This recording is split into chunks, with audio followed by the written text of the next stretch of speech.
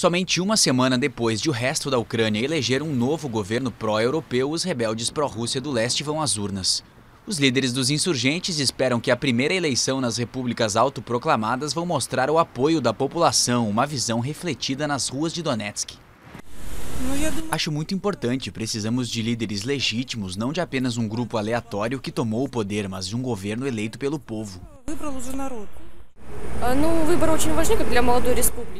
As eleições são muito importantes, como para uma nova república. Acho que todos têm de votar.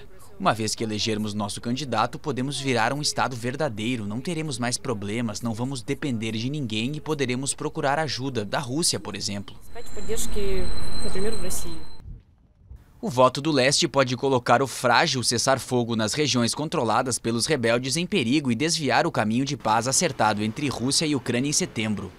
A União Europeia e a ONU condenam as eleições, assim como o presidente ucraniano.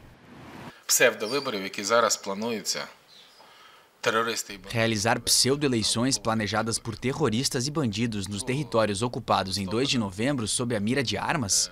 Eles querem mostrar uma falsa expressão de um desejo de voto.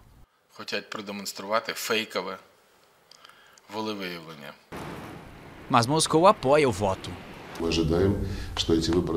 Esperamos que as eleições ocorram como acordado e vamos, é claro, reconhecer os resultados. As eleições estão marcadas para ocorrer em meio a combates que já custaram a vida de mais de 3.700 pessoas. A Comissão Eleitoral disse que monitores internacionais são esperados para fiscalizar a votação e a Rússia anunciou que também vai enviar legisladores para o país.